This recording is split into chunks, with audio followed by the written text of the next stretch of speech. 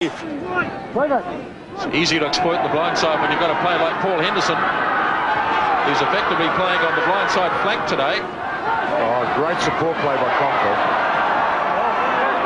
Here's the Otago style. Just keep it moving. To Vaega. Look at that pass. Tukaki honing in. Now Wow, what a Wilson. beautiful try.